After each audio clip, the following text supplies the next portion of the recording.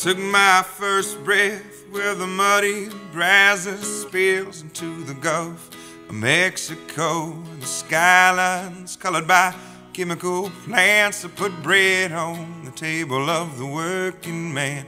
Where the working man does his best to provide safety and shelter for kids and a wife. Giving a little of his soul every day, making overtime keep the wolves away.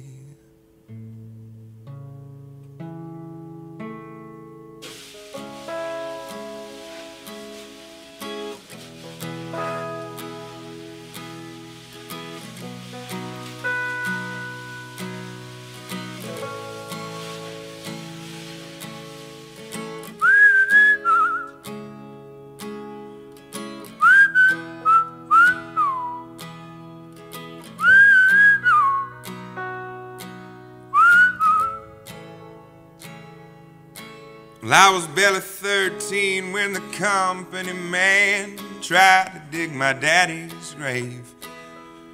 It happened on a French owned tanker ship spilling poison into Galveston Bay. Where the liquid fire filled his lungs and his eyes silenced any more cries. Cold in the grip of death stinging pain, he fought like hell keep the wolves away.